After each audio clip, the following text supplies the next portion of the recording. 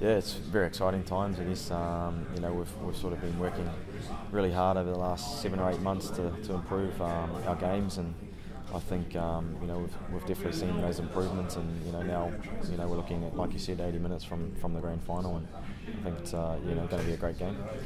But you've got a team called Warrington Wolves in front of you. You downed the colours two weeks ago. Can you do it again? Yeah, I mean, I'm, I'm definitely confident in my teammates that we can produce a performance, um, you know, that's going to win us the game. And um, you know, we've worked really hard on, on what we need to do, and um, you know, we sort of understand that they're going to come here, you know, fit and firing and, and ready to play well. So it's going to be a great battle. I know that you'll not worry about what happened a few weeks ago in Super League, but they downed your colours here, didn't they? Yeah, definitely. I mean, um, you know, it's been it's been a great uh, competition all year, and I think um, you know Warrington you know, really set the standard along with Wigan, and um, but I think you know over the last four or five weeks, um, you know, we've definitely stepped up, and um, I think we're capable of, of um, you know giving it a good crack. So just looking forward to uh, getting out there in the weekend and hopefully progressing to next week. Well, what you did do, you got the benefit of winning at Warrington of having uh, the week off. So I suppose that's a benefit for everybody. You know, the little niggles and bruises to get over for this big game this coming Saturday. Yeah, you're right. It was you know a big incentive, I guess, for us leading uh, leading into that match, and um, sometimes you know it can upset your rhythm a little bit, but. Um, you know, we trained fairly hard this week, and um, you know, sort of didn't really change things too much. Um, obviously, we, we don't have the bumps and bruises from a game in the weekend, and um, you know, we can really kick on and, and um, do some good training this week and um, you know, look forward to the weekend. Obviously, last season you get, went through the playoff uh, campaign and system in the NRL and reached the grand final. Have you noticed any difference in the intensity in the playoffs over here? It's very, very similar, mate. I mean, obviously, you know, there's a lot on the line. Um, you know, some great players around, and you know, you can't afford to be making any mistakes um, at all, really. So, um, you know, like I said, very very similar in, in terms of intensity, and um, you know, looking forward to the weekend, and I'm, I'm, sure it'll be a cracker. From your own point of view, the forwards lay the foundation, and it should be mammoth, both packs going at each other. But then yourself and uh, Johnny at halfback, you've then just got to lay the foundation with the kicking game and bring the backs into it. Yeah, it sounds pretty simple when you say it like that, but um, I mean, it's, it's going to be a great game. The boys, the forwards have been great in the last sort of two months. I thought they've, they've really, really stepped up and um, you know led the way and, and, laid a platform for us, and obviously makes my job a lot easier. And um, you know, I think you know in this weather, ball security is going to be uh, you know be, be an important part of the game, and um, if we can complete some sets and hold on to the ball, then I think we're a big chance of uh, winning the match.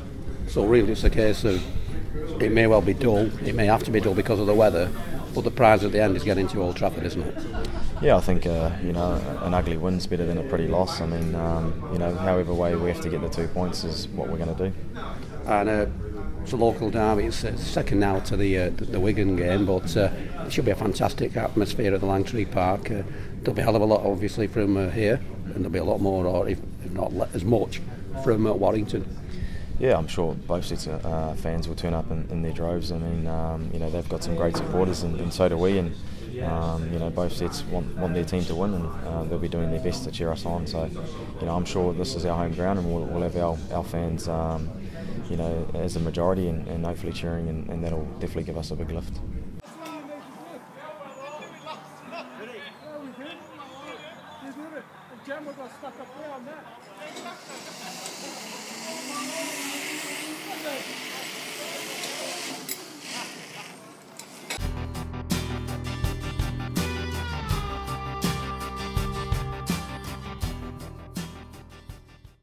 Well, we're at home, so obviously it gives us a, a, start, and that's a positive for us having had to go to the Halliwell Jones recently. And uh, obviously, we know it's going to be a tough time. They've got international players right across the board, and Westwood and Carvell are obviously going to be back, so um, it adds a little bit of a dimension to them. Although Carvell did play last time, but very, very short minutes, so they'll add a different dimension to them and another threat that we'll have to be wary of.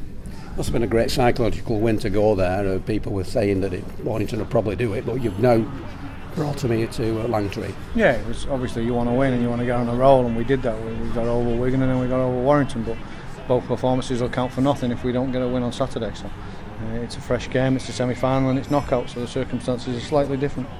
And uh, again, they played at the weekend. They knocked themselves black and blue against all, and the, some of the players will be feeling the injuries, whereas you had the two week uh, off. Yeah, they wanted to get back on the horse after they get beat, so they probably wanted to play, and we're happy to get knocked around and, and get back into the grind and get a win. So again, it, I'm not sure how much burn it has at this time of the year.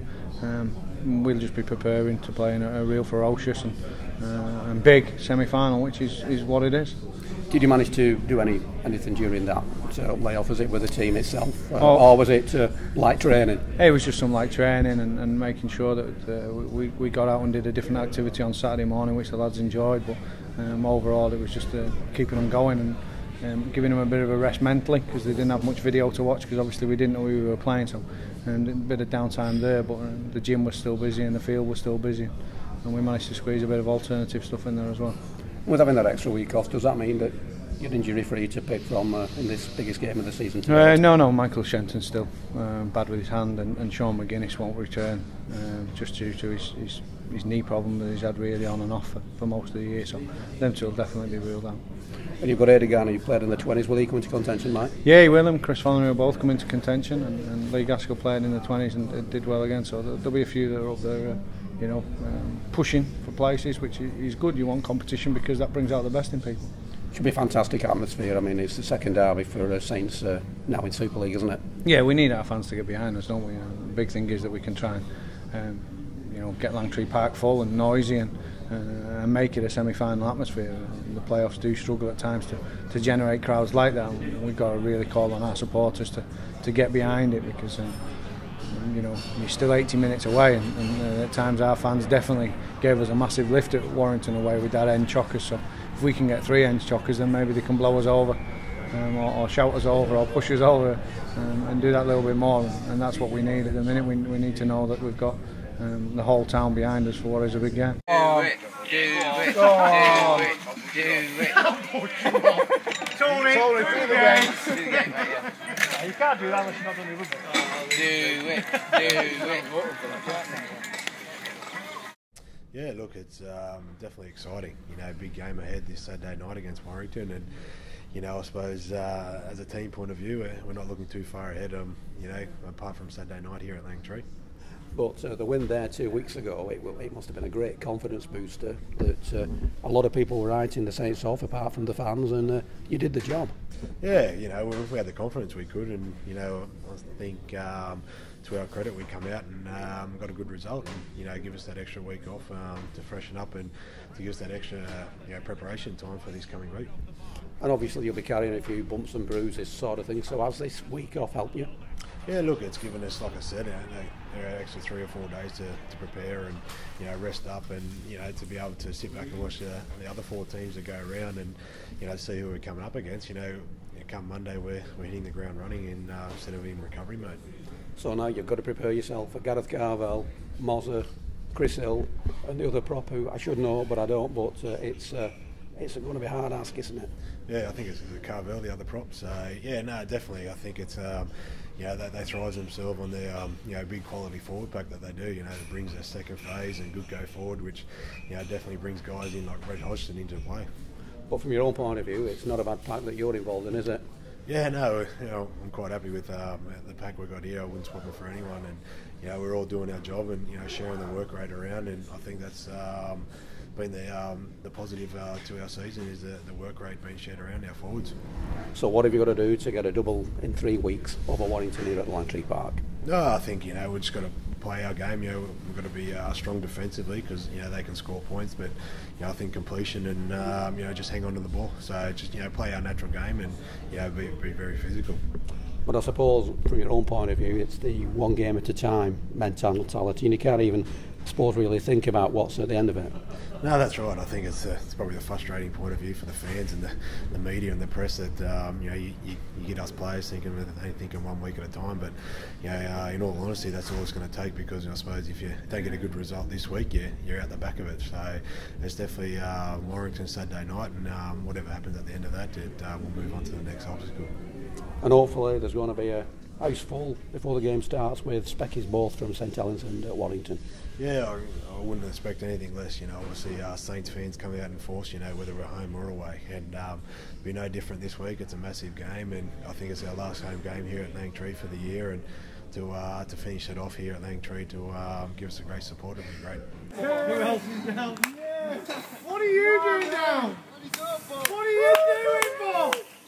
Come on, bro. Oh, come on, bro. You win. You win, guys. You win. Bob Walker didn't expect to see off.